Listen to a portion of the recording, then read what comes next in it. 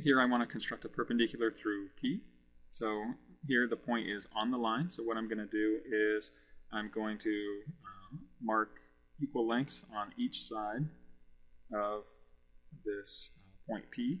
So again, I can do a, a complete uh, half circle, or I could just leave the markings that intersect the segment itself.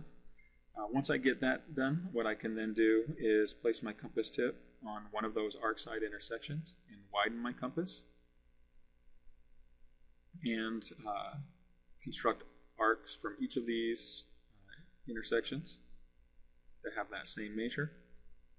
And once I do this, I can now extend my point through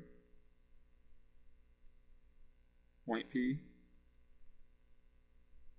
as well as this intersection and I'll be able to see which if any points are intersected.